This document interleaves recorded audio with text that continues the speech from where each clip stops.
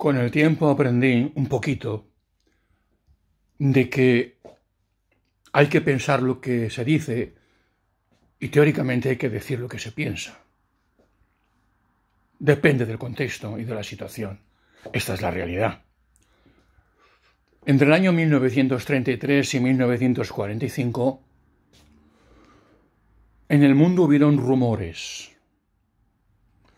En el Tercer Reich de Adolf Hitler, en pleno nazismo, habían ciudadanos que les podía llegar algún rumor, pero no podían aceptar, no podían creer los horrores que se decían, que se cometían en los tristemente famosos campos de concentración. Los aliados recibieron alguna información de algún judío que se había escapado de algún campo de concentración, contrastaron, hay documentación suficiente, mm, había una incredulidad lógica al oír los horrores. Em, yo a lo largo de mi vida siempre me ha hecho gracia cuando he criticado el nazismo y de adolescente me fascinaba su estética de adolescente eh, y siempre iba con los alemanes en, los juegos que hacía. Después me di cuenta éticamente que aquello era insoportable. siempre ha habido alguien que cuando se ha criticado el nazismo le sale, no como diría yo, una ideología derechona, pero lo digo en el sentido más peyorativo, diciendo, y el estalinismo, claro, sí, sí, claro, lo que pasa que la Unión Soviética ganó la guerra juntamente con los aliados y el estalinismo lo sufrieron en aquel momento los propios ciudadanos de la Unión Soviética. Y a posteriori todo lo que se llamó el talón de acero, el pacto de Varsovia y demás. Eh, es otra cosa, y además estamos hablando hasta 1945, con todo lo que, lo que la, la historia la suelen escribir los vencedores. Bien, hay una película maravillosa que también he citado en un vídeo en un momento, en su momento, Vencedores o Vencidos, donde mm, película dirigida por Stanley Kramer con un reparto de lujo, Marlene Dietrich, Burlancaster, Maximilian Shea, eh, mm, el otro Richard Widmar, Spencer Tracy, uno de los jueces. Hay un momento que Burlancaster, que encarna el papel de un jurista alemán que había sido ministro de Justicia en el Reich y demás, hace un discurso de, de autoculpa, ¿no? Y dice, ¿dónde estábamos cuando arrastraban a nuestros vecinos? ¿Dónde estábamos cuando se le llamaba? Es que estábamos ciegos, estábamos mudos, estábamos sordos. Bien. Bien. El pecado de omisión es un pecado para los que son moralistas, que sigue siendo pecado. Está el pensamiento, está la acción, pero está la omisión, ¿no? Cuando uno mira hacia otro, hacia otro lado, y evidentemente ese mirar hacia otro lado implica no quererse enterar. Actualmente, desde la declaración de la pandemia, hay rumores, rumores. Y entiendo por rumores ciertos documentos que aparecen sobre todo en YouTube, donde una de dos, entre comillas, o te partes de risa, o te da una diarrea, una colitis impresionante, o a lo mejor hay una postura intermedia. Las fuentes oficiales no nos han dicho toda la verdad, ni nos la dirán. Y los llamados, vamos a decir, negacionistas, en alguna cosa es posible que puedan tener razón. ¿Por qué no? En algún planteamiento.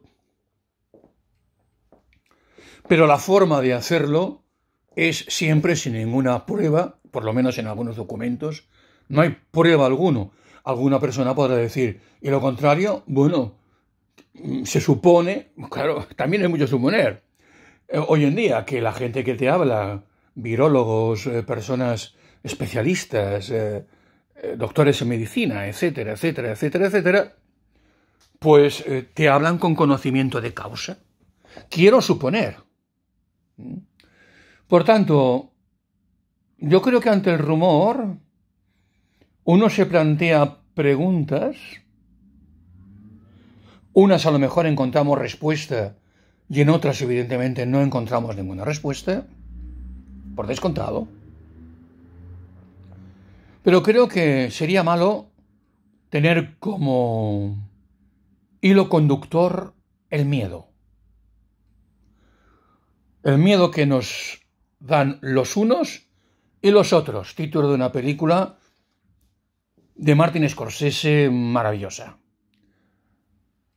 Creo que la racionalidad, la lógica, el sentido común mm, de cada, de cada persona se impone y esto no implica que uno consulte, pregunte, escuche, oiga diferentes, de diferentes pareceres de personas que juzgamos o creemos que son que tienen eso que se llama una autoridad moral o por lo menos unas garantías. Que estamos en un cambio de ciclo yo creo que eso es incuestionable. Que los pobres vamos a ser más pobres y me sabe mal, me causa rubor llamarme a mí pobre porque vivo bien y hay gente que casi casi me va a dar lágrima estética pensar cómo viven, sea en España o sea en otros lugares. Pero eso que se llama la clase media tirando para abajo,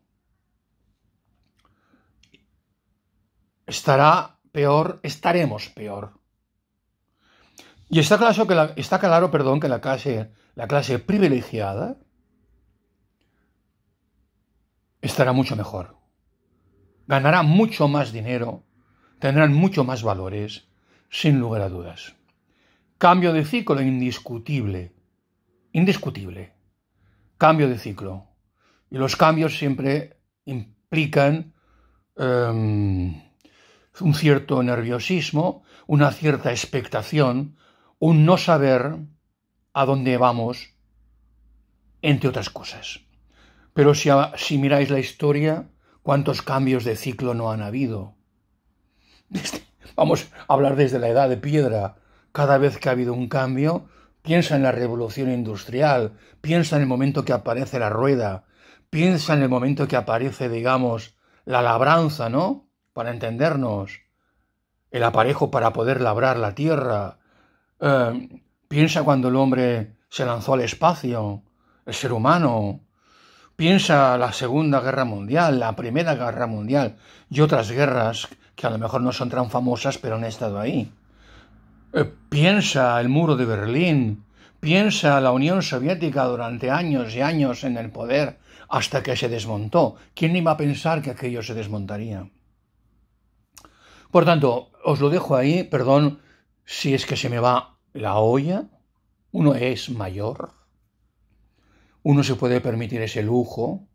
Ya me censuraron una vez un vídeo en alguna red por hablar de la neurociencia, de los libros que he leído sobre neurociencia, y se ve que el motivo fue de que podía, digamos, mm, distorsionar o hacer que la gente tuviera un conocimiento, un conocimiento extraviado, algo así, ¿no? No, no sé. Yo pensaba, como tengo millones de seguidores, vamos, mi, influencia puede cambiar la faz de la Tierra. Ni lo pretendo, ni tengo suficiente conocimiento de causa. Sería un pedante acabado. Yo simplemente opino, prefiero hablar de cine, prefiero hablar de series, prefiero hablar de otras cosas más que de esta, porque de esta no sales bien parado según y cómo lo enfoques. Y tu enfoque, el mío, es con un conocimiento de causa muy relativo. Las fuentes oficiales y a veces algunas otras fuentes que dices, ¡Uy, tierra, trágame! Salud, suerte, azar, vida mientras dure. Es importante.